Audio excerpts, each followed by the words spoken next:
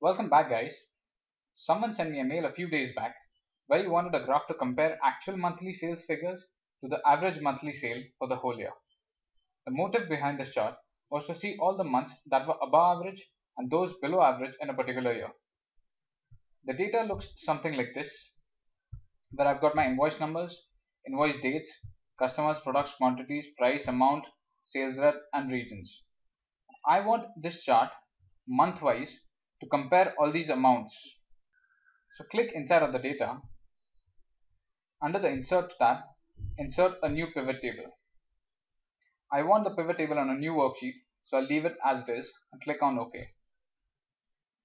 Drag the date field to the rows area and the amount to the values area. Right click on the dates and select group and group it month wise. Now that you have your data grouped month-wise, select the whole data. On the border, click and hold down your right mouse button, drag the border across and, and drag it back again to where it was and leave it. And select the option copy as values only. This will get rid of the pivot table and leave behind only the values. Now change the headers to month amount and get rid of the grand total.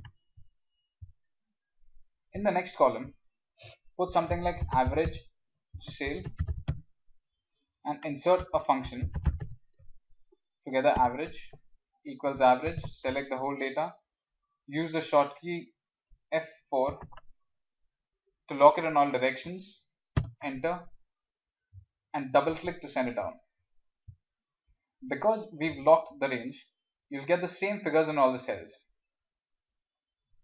Then click inside of the data and use the shortkey Alt F1 to insert a default chart. I'll go to the change chart type option and select a line chart. Click OK. Now I can clearly see that my values are starting from 140,000 onwards. So I'll go to the vertical axis, use the shortkey control 1 and change the minimum bound to 140,000.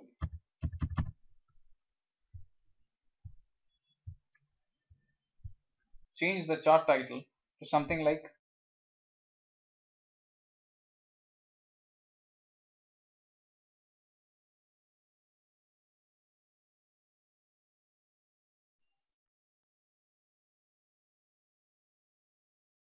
Now you can clearly see the months that have done above average and those that have done below average.